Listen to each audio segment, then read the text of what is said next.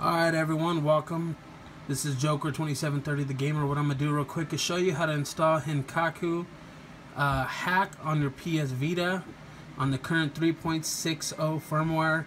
It only works on the 3.60 firmware. Do not upgrade or downgrade if you can, that is. I don't know. Some people know how to. Uh, it's a process. Either way, do not go beyond this because once you do, it will no longer work. So what you're going to do is you're going to open up your browser. You're going to go into this. Up here at the top, all you're going to type is Henkaku. H-E-N-K-A-K-U dot X-Y-Z. Once you do that, you click enter. It's going to bring you to this right here. And all you do is click install, install, and right now it's actually installing the hack directly from the browser. And there it is. You click OK.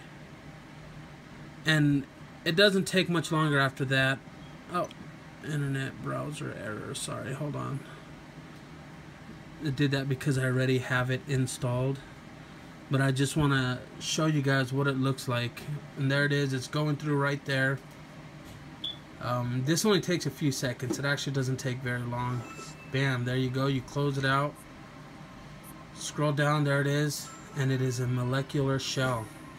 And from here, there's another way you have to load stuff in here. But as for now, there it is. There's the shell, which allows you to uh, do custom gaming emulators. There's the Genesis, the Game Boy.